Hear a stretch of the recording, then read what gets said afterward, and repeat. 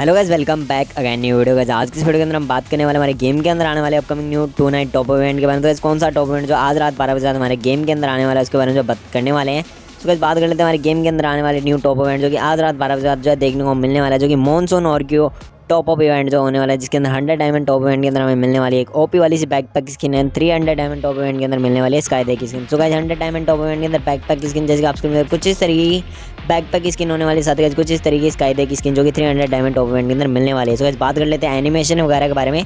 सो जैसे आप स्क्रीन कुछ इस तरीके बैक पैक स्किन और साथ कुछ इस तरीके एनिमेशन वगैरह जो है देखने को मिलते हैं। बैक पैक के अंदर साथ level two and level one पे कोई भी एनिमेशन वगैरह जो है नहीं देखने को मिलते। लुक जो है कुछ इस तरीके की होने वाली है बैक पैक की सो गाइस कैसी लगी प्लीज़ कमेंट सेक्शन में कमेंट करके ज़रूर से बताइएगा।